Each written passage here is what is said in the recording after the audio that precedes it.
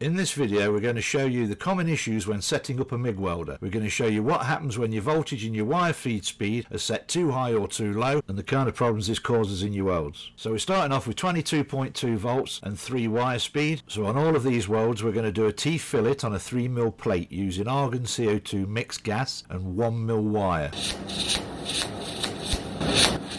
We're struggling to keep the pool formation. This is due to the low wire feed in relation to the voltage. This gives us far too much heat and it sounds like a popping sound and that's the first indication that something in our settings isn't right. So with that complete you can see the top edge has been chewed away due to lack of wire. We've created a load of undercuts. And then we repeated this weld and we slowed our travel speed down which then created less undercut but we still had a really hot weld. So that didn't go well so let's change it up and let's think about it. We'll smash more wire on on and go to 12.5 wire speed and we'll drop that voltage down because we thought, oh, it's a bit hot. And then all hell broke loose. We were struggling to maintain a constant weld pool. We got far too much wire. It's far too cold. It's spattering like the flipping heavens have opened and it sounds like hail on a tin roof.